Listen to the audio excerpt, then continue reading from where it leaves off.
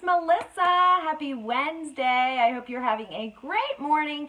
Um, I just wanted to pop in today to answer um, probably one of the biggest questions about SVGs um, and cutting them in Silhouette Studio. I apologize for this weird background. We're in my office, but I'm going to flip you around in a minute here so you can see my computer. So this is really the only way I can set this up.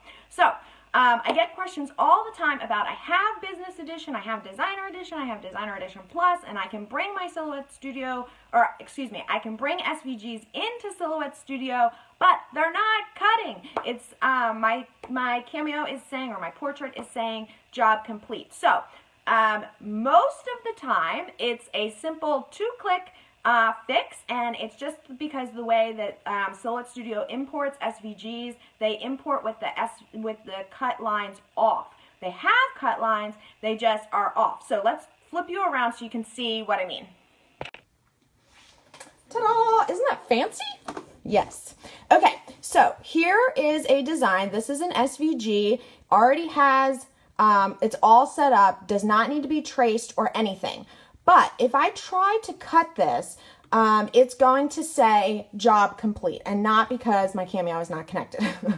um, the reasoning is because you can see over here um, that it has no cut lines. The cut lines are not on. So all you have to do with the design selected is click cut ta-da and there you go and you're all set to cut okay so just remember if your svgs are not um, cutting it's because they have cut lines but they are um, off by default in Silhouette Studio. So you just need to turn them back on.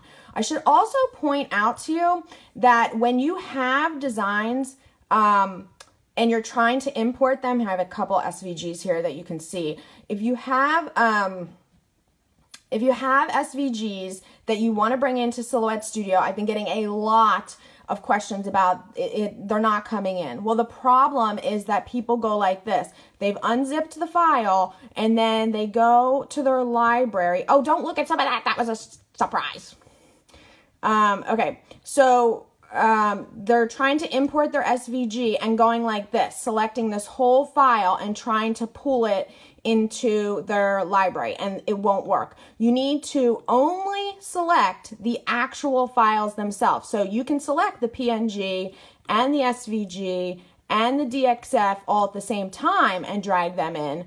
But what you cannot do is select the folder itself. See how it's going to go from 17 to 20 right here. Okay. All right. And you can even bring, if you want the SVG from this one and the SVG from this one, you can drag them in. What you don't want to do is select the actual folder. Okay. That is where you're going to get the error.